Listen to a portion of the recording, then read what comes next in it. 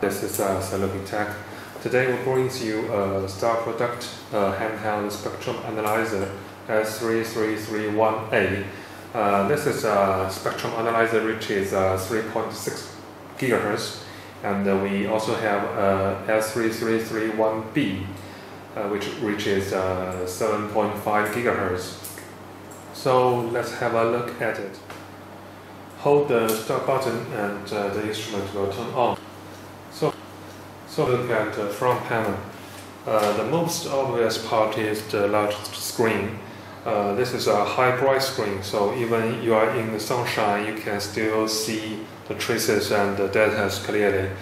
Uh, below it, there are six uh, soft keys uh, corresponding to the soft menus in the uh, shown in the screen. On the left side, this area is the function keys. Uh, you can do the settings and uh, select uh, measurement mode with these keys. On the right side, there are numeric keys, knob, navigation key, and uh, unit keys.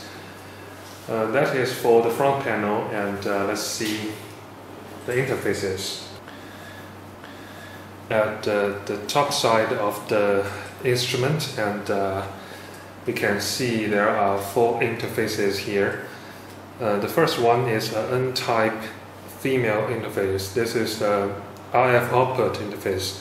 Uh, if you selected the option tracking source or CW source, uh, this is uh, acting as a signal generator. Uh, this one is a LAN port. The LAN port is used for remote control and uh, for the PC software. This one is a USB port type A.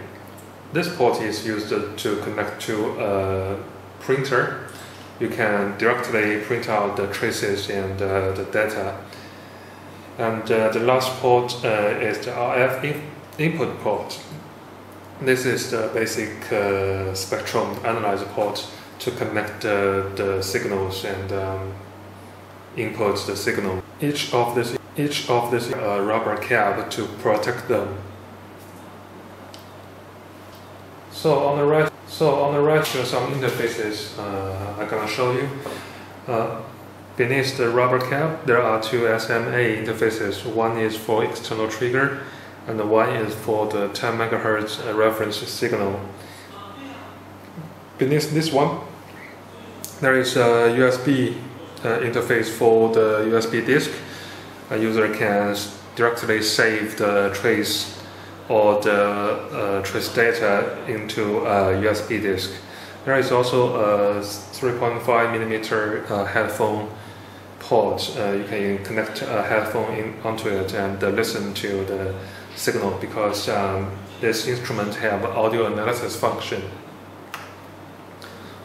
So on the so on the is support, uh, you can use the instrument on desktop, and uh, this will provide you a better view and